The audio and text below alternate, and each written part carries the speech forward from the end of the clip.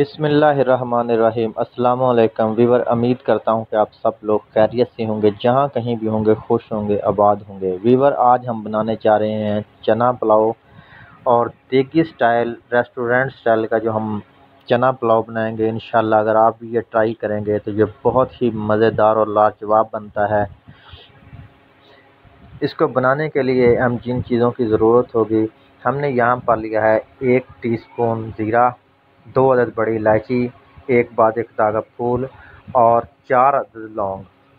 ہم نے دو سو گرام گھی میں اسے تقریباً دو منٹ کے لیے اس مسالے کو بھوننا۔ اس کے بعد ہم اس کے اندر ایڈ کریں گے پیاز۔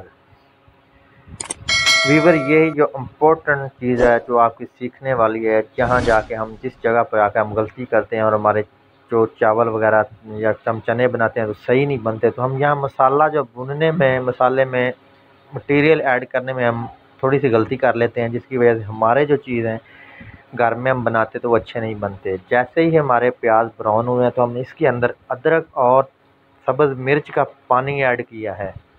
کیونکہ اس کے ساتھ ہم نے لہسن کا پانی ایڈ نہیں کیا، سب پہلے ہم نے ادرک اور سبز مرچ کو علیحدہ گرینڈ کرنا ہے، اس کا پانی ہم نے اس کے اندر ایڈ کرنا ہے۔ اس کو پانی کو ہم نے خشک کرنا ہے، اس کو ہم نے اچھی طرح بھوننا ہے۔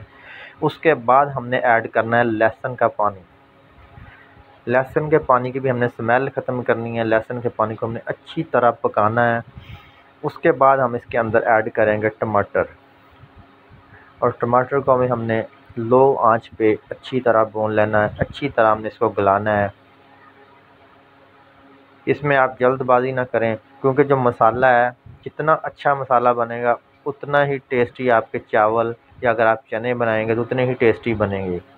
یہ ریسپی جو ہے میں ریسٹورنٹ کی آپ کے ساتھ شیئر کر رہا ہوں، جو بہت مشہور ریسپی ہے۔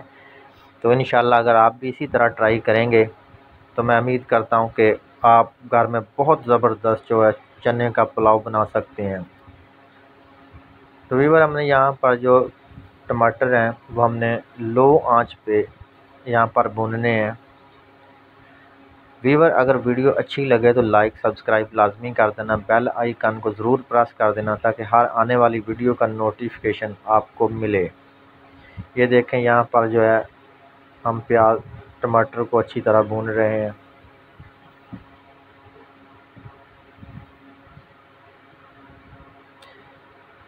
کوشش کرنا ہے کہ چمچ جو ہے ساتھ ساتھ ہلاتے جانا ہے۔ اس میں ابھی تک ہم نے نمک، مرچ اور ہلدی وغیرہ کچھ ابھی تک ایڈ نہیں کی۔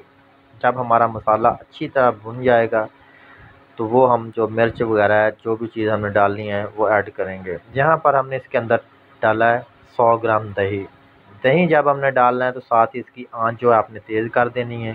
دہی کی پھٹکری جو ہے، ہم نے بالکل ختم کرنی ہے۔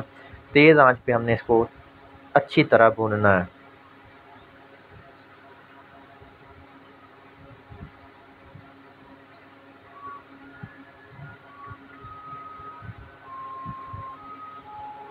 ویڈیو کو اینڈ تک دیکھا کریں، کیونکہ میری جتنی بھی ریسپیاں ہیں، میں آپ کے ساتھ شیئر کرتا ہوں، وہ ریسٹورنٹ کی ریسپیاں شیئر کرتا ہوں، جو کمرشل ریسپیاں ہیں، وہ شیئر کرتا ہوں سیکرٹ ریسپیاں آپ کے ساتھ شیئر کرتا ہوں۔ تو اگر آپ اس طریقے سے گھر میں بنائیں گے، تو میں انشاءاللہ امید کرتا ہوں کہ آپ بہت زبردست جو ہے کوک بن سکتے ہیں۔ یہ دیکھیں، یہاں پر ہمارا دہی جو ہے، وہ اچھی طرح بھون چکا ہے۔ اب ہم نے اس کے اندر نمک اور دڑی مرچ جو ہے، لال۔ وہ پانی کے اندر مکس کر کے ہم نے ایڈ کی ہے۔ اور اس کو ہم نے تقریباً جو ہے پانچ منٹ تک اچھی طرح بھوننا ہے تاکہ اس کا جو مرچ کا کچا پن ہے وہ ختم ہو جائے۔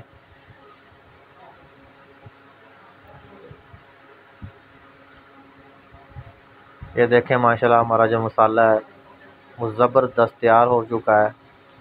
چنے ہم نے پہلے بوائل کر لیے تھے۔ چنوں کے اندر جو پانی ہوتا ہے وہ آپ نے نہیں نکالنا۔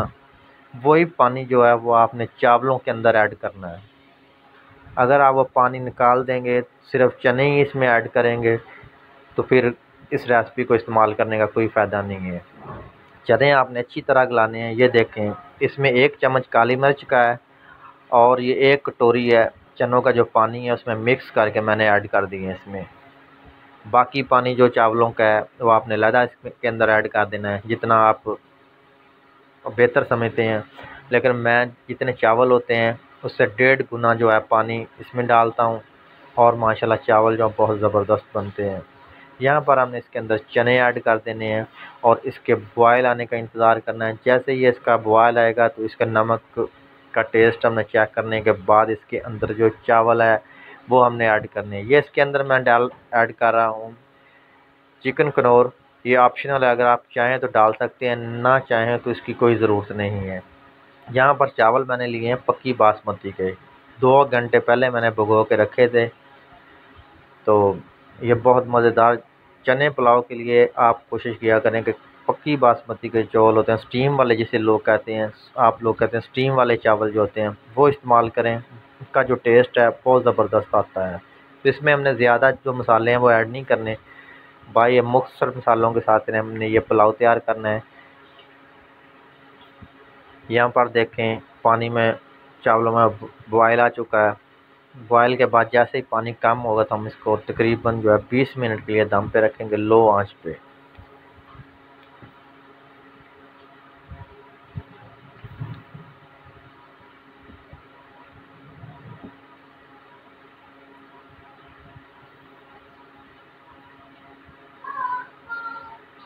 ماشاءاللہ ہمارے چاول جو ہیں وہ زبردست تیار ہو چکے ہیں، بہت ہی مزیدار ہیں۔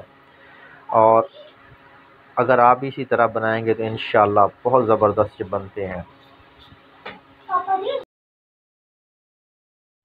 اب مجھے آپ اجازت دیں، اللہ حافظ، اس ریسپی کو ایک بار ٹرائی ضرور کریے گا، انشاءاللہ آپ کو مزہ آئے گا۔